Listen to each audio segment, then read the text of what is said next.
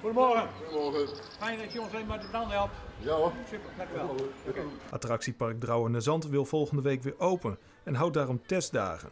250 bezoekers zijn uitgenodigd. Een leuk uitje, maar ze zijn er om te testen of alle coronamaatregelen goed Het werken. is straks de bedoeling dat jullie alleen in de blauwe bakjes gaan zitten, zodat we de anderhalf meter afstand kunnen bewaren.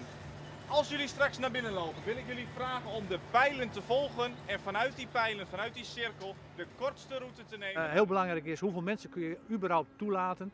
Eh, parkeren is, is, is normaliter met, met, met muntje, wat dan ook. Ja, dat kan ook niet meer. Maar je moet uitkijken dat je natuurlijk niet eh, direct met te veel mensen begint. Dat je niet in de val loopt, dat je in één keer te veel hebt en dat je problemen krijgt. Want ik zou niet willen dat hier eh, 50 besmettingen wegkomen. De kinderen nemen het ervan en voor volwassenen is het een dag van afwachten hoe het gaat. Ik vond het wel spannend eerlijk gezegd. Het is het eerste uitje met ons kleintje sinds, nou, sinds de lockdown, zal ik maar zeggen. En eh, nou ja, kijken hoe onze kleine vooral reageert op eh, afstand houden als ze enthousiast worden. Dus dat is dus een mooie, mooie, mooie oefening. Want houden kinderen zich wel aan de looplijnen en de opstelvakken voor de attracties? En wat doen volwassenen? En wie hoort bij wie?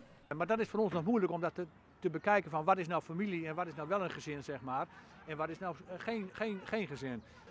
En, eh, je zou misschien met bandjes kunnen werken van een bepaalde kleur of zo, dat je kunt zien dat het, dat het bij elkaar past of wat dan ook. Maar dat is op dit moment eh, heb ik dat nog niet.